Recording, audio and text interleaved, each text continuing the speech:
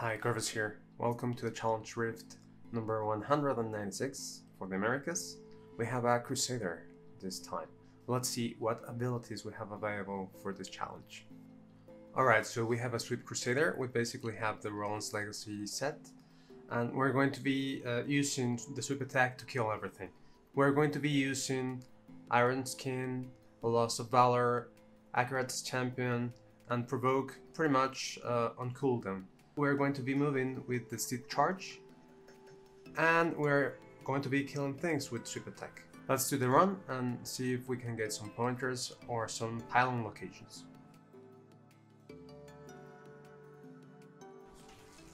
Okay, so we want to find as many elites as possible in the shortest time. We have two groups here. Don't forget to have those abilities in cooldown. Because whenever they are not used, you are kind of squishy.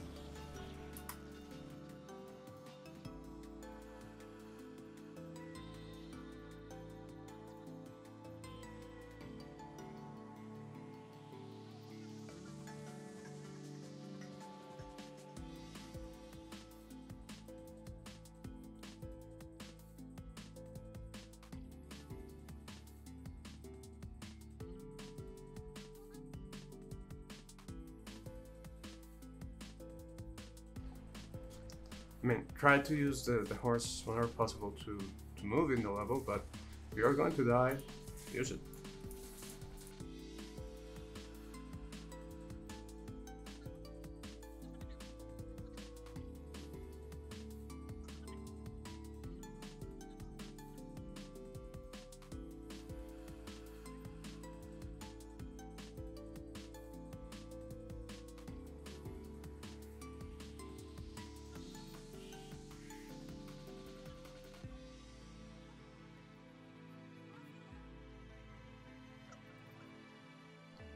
Alright, for the second floor, you pretty much want to go in a straight line until you span the rift boss or uh, find that elite at the end or go to the third floor in case you need it.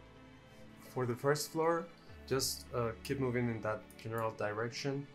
Uh, it's uh, a little bit of a maze, but you have two pylons and lots of elite packs. So just be sure to be using those skills to help you live. And if you die, uh, I'm guessing that you could even die a couple of times and still get the, the challenge completed. Uh, but don't worry, I mean, some mobs hit uh, hard. Uh, you could try to space some of the, the cooldowns of your abilities. Uh, don't press them all at once, uh, maybe just half of them. So you can always have one available whenever you see an elite pack. It's a simple rift, uh, even if you die one or two times, you can still complete it. And one reminder guys and girls, uh, you don't want to do the challenge rift next week until the season starts. Uh, it will give you a boost at the beginning of the season, so uh, just take that into consideration. Okay, thank you very much for watching. Bye.